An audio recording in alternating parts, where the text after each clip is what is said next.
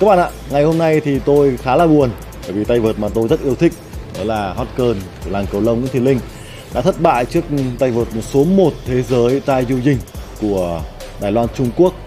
Đã có những thời điểm ở set đấu đầu tiên đó Thùy Linh à, vừa lên dẫn trước ở điểm số 16 nhưng mà đẳng cấp của Tai Yu Jing là không thể bàn cãi. Và kết quả cuối cùng Thùy Linh đã thất bại với tỷ số các set là 2-0. Không sao cả, chúng ta vẫn quyền có hy vọng vào những vòng đấu tiếp theo của Thùy Linh bởi Thủy Linh vẫn còn một trận đấu nữa tại vòng bảng. Và ngay bây giờ chúng ta hãy cùng đến với nhịp đập Olympic của thể thao.vn số ngày 26 tháng 7. Nguyễn Thùy Linh thất bại trước tay vợt số 1 thế giới. Nguyễn Thị Ánh Viên không vượt qua vòng loại 200m tự do nữ. Trong phần 360 độ Olympic ngày hôm nay, hãy cùng chúng tôi đến với câu chuyện bi hài của hai hot boy thể dục dụng cụ tại Olympic Tokyo 2021.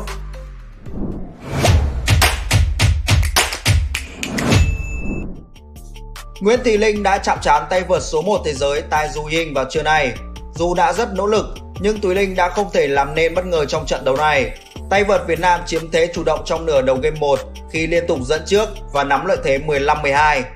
Tuy nhiên về cuối game, Thúy Linh đã có dấu hiệu xuống sức và bị đối thủ bắt bài. Sang đến game 2, Tai Dung Ying thi đấu tự tin và chủ động hơn. Trong khi đó, Thùy Linh đã xuống sức và liên tiếp đánh hỏng.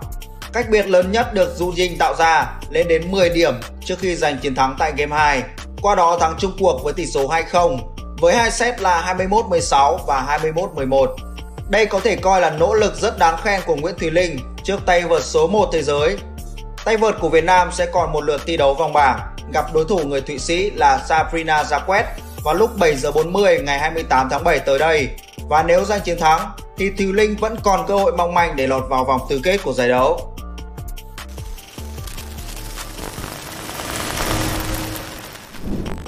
Vào lúc 5 giờ chiều ngày hôm nay, kình ngư Nguyễn Thị Ánh Viên đã kết thúc phần thi ở lượt bơi thứ hai, nội dung 200m tự do nữ. Vận động viên của Việt Nam về đích thứ 8 với thời gian là 2 phút 05 giây 30. Thành tích kém xa so với thông số tốt nhất của kình ngư này từng đạt được ở nội dung 200m tự do là 1 phút 59 giây 24. Với kết quả này, Ánh Viên bị loại ở nội dung này khi không nằm trong nhóm 16 vận động viên có thành tích tốt nhất. Vào ngày 29 tháng 7 tới đây, Ánh Viên sẽ tiếp tục thi đấu ở nội dung 800m tự do nữ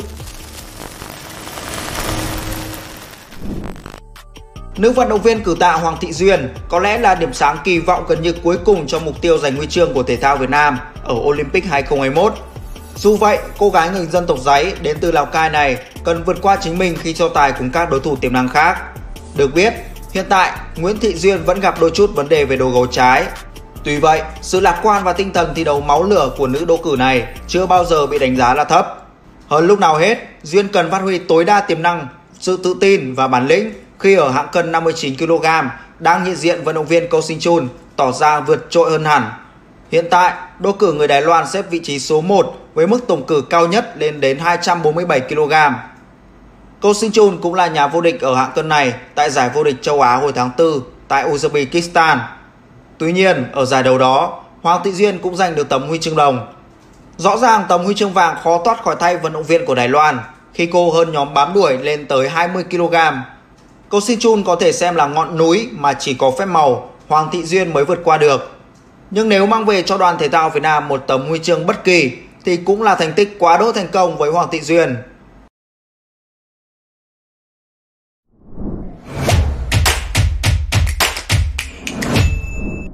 Hai vận động viên bộ môn thể dục dụng cụ là Lê Thanh Tùng và Đinh Phương Thành không thể vượt qua vòng loại để có mặt tại chung kết Olympic Tokyo. Dù vậy, nghị lực của cả hai thật đáng khen bởi dù chấn thương họ đã uống thuốc giảm đau để có thể thi đấu.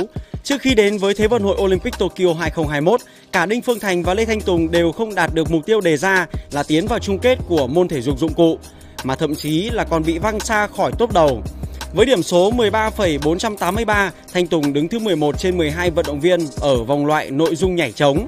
Ở vòng loại nội dung xà đơn nam, Tùng đứng thứ 30 trên 47 vận động viên với thành tích 13,166 điểm. Trong khi đó, vận động viên Đinh Phương Thành đứng thứ 43 trên 45 ở vòng loại nội dung xà kép nam với thành tích là 11,833 điểm. Và nghiễm nhiên, những pha đu xà đẹp mắt của vận động viên này không thể đưa anh đến vòng chung kết. Nhắc đến chấn thương của hai hot boy thể dụng dụng cụ, có một điều chớ trêu là Lê Thanh Tùng thi đấu ở bộ môn nhảy trống, động tác tiếp đất là quan trọng nhất, thì Tùng lại bị đau ở gân asin. Và cũng tương tự với Đinh Phương Thành, nếu như đôi chân là quan trọng nhất ở môn nhảy trống thì cánh tay cũng quan trọng không kém ở môn xà kép. Đen đổi thay, đến thời điểm quan trọng nhất thì Đinh Phương Thành lại bị tái phát chấn thương tay. Chấn thương khi thi đấu là điều không ai muốn và nó có thể xảy đến bất cứ lúc nào. Nhưng không hiểu sao những chấn thương lại liên tục xảy ra với hai tuyển thủ thể dục dụng cụ của chúng ta theo kiểu đúng người, đúng thời điểm như vậy thì phải nói là quá đen và hy hữu. Nhưng dù sao chúng ta nên ghi nhận ý chí và nghị lực của Lê Thanh Tùng và Đinh Phương Thành. Dù không thể vào đến chung kết như mong muốn, nhưng cả hai vận động viên của môn thể dục dụng cụ đã rất cố gắng tại Olympic Tokyo 2021 và mong rằng trong tương lai cả hai sẽ không phải uống thuốc giảm đau khi thi đấu nữa.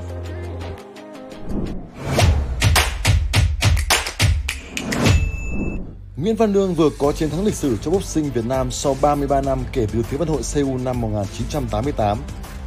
Ở Olympic Seoul năm 1988, hai tay đấm là Đỗ Tiến Tuấn hạng 67 kg và Đặng Hiếu Hiền hạng 48 kg được xét đặt cách dự tranh. Trong đó, võ sĩ Đặng Hiếu Hiền đã để lại dấu son cho boxing Việt Nam khi xuất sắc đánh bại đối thủ từ Tây Ban Nha ở vòng 1 trước khi dừng bước trước một võ sĩ của Mỹ cường quốc về boxing.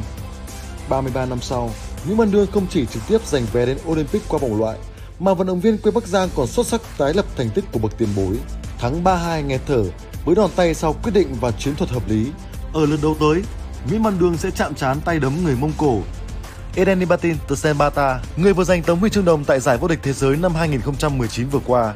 Nhìn lại quá trình phát triển của Nguyễn Văn Đương từ một võ sĩ chỉ được đánh giá tầm top 3 toàn quốc sau Đại hội thể thao toàn quốc năm 2018 anh trở thành cái tên hàng đầu tại hạng 57 kg, bỏ xa các đối thủ cùng hạng ở giải quốc nội. Tới năm 2019, Nguyễn Văn Đương lọt vào danh sách các võ sĩ được đầu tư trọng điểm của đội tuyển quốc gia sau tiềm năng thể hiện ở các giải đấu và võ đài trong nước. Đặc biệt, trong thời gian huấn luyện tại Trung tâm huấn luyện thể thao quốc gia 2, thành phố Hồ Chí Minh, Đường có cơ hội làm việc cùng chuyên gia đến từ Kazakhstan, ông Beribon Amantebek Kasimkhanov. Trong thời gian tập luyện cùng chuyên gia Beribon, dù được đánh giá là tay đấm hàng đầu, nhưng Nguyễn Văn Đương vẫn bị đánh giá là có nhiều lỗi trong chiến thuật, buộc anh phải thay đổi trong suốt quá trình tập luyện. Để nói về sự thay đổi của Nguyễn Văn Đương, quãng thời gian trước SEA Games 30 cho tới thời điểm giành vé dự Olympic bằng chiến thuật trước đối thủ Chachai để tra Bude là khác biệt nhất. Tại SEA Games 30, Đương thua toàn diện 0-5 trước tay đấm người Thái Lan. Tuy nhiên, chỉ vài tháng sau đó, tại vòng loại Olympic châu Á, võ sĩ sinh năm 1996 cũng vượt qua chính đối thủ này để giành tấm vé lịch sử. Nói về quá trình làm việc cùng Nguyễn Văn Đương, chuyên gia người Kazakhstan cho biết điều khó nhất chính là thay đổi thói quen tập luyện, sinh hoạt cho tới các kỹ chiến thuật cơ bản của tay đấm người Bắc Giang. Một phần nhờ quãng thời gian chui rèn cùng chuyên gia Kasi Khamnov và sự chỉ bảo chiến thuật hợp lý của ban huấn luyện đội tuyển boxing Việt Nam, Văn Đường đã chứng chạc hơn mà bằng chứng là chiến thắng nghẹt thở trong trận gia quân trước đối thủ Aliyev Taifu, người từng giành tấm huy chương đồng châu Âu. Đó là một cột mốc lịch sử khác cho boxing Việt Nam, nhưng chắc chắn chưa phải là cuối cùng. Tới đây, gà chiến Nguyễn Văn Đương sẽ phải chuẩn bị kỹ càng hơn cho những trận đấu sắp tới trên con đường vươn xa ở đấu trường danh giá Olympic Tokyo năm 2021.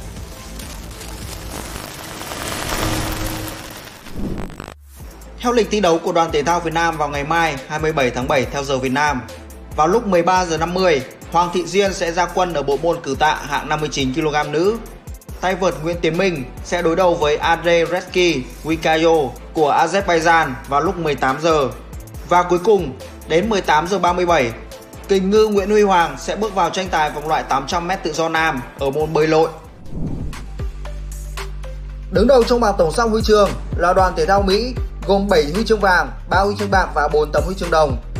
Vị trí thứ hai là chủ nhà Nhật Bản cũng có được 7 tấm huy chương vàng, một huy chương bạc và 3 huy chương đồng. Trong khi đó, Trung Quốc có được 6 tấm huy chương vàng, Vương quốc Anh và Hàn Quốc có cùng 3 tấm huy chương vàng tại Olympic 2021. Hiện tại, đoàn thể thao Việt Nam vẫn chưa có được tấm huy chương nào tại Thế vận hội năm nay. Hy vọng các vận động viên của chúng ta sẽ có được kết quả tốt ở những ngày thi đấu tiếp theo. Hiện tại, đoàn thể thao Việt Nam vẫn chưa có được tấm huy chương nào tại Thế vận hội năm nay. Hy vọng các vận động viên của chúng ta sẽ có được kết quả tốt ở những ngày thi đấu tiếp theo. Có một điều tôi muốn nhắn nhủ với các bạn là đừng bao giờ đánh mất hy vọng của mình và tôi cũng vậy. Ngày hôm nay ờ, khi mà chứng kiến ờ, các vận động viên của chúng ta thất bại trong những môn thi đấu thì tôi rất là buồn nhưng tôi tin là ở những ngày thi đấu tiếp theo, chúng ta sẽ làm nên một kỳ tích nào đó tại Olympic lần này. Và bây giờ thì đã đến lúc chúng ta phải chia tay nhau rồi. Đừng quên like và subscribe channel YouTube web thể thao.vn. Xin chào và hẹn gặp lại.